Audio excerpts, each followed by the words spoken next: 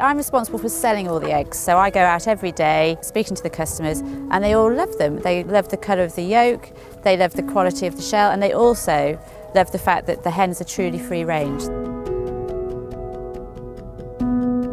Moving the mobiles is really quite a simple process. Half an hour you can, uh, you can get a house moved.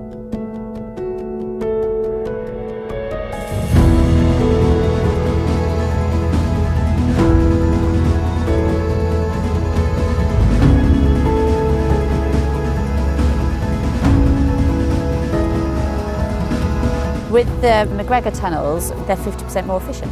So it's enabled me to double my production, but not double my labour time. And the environment for the hens is lovely.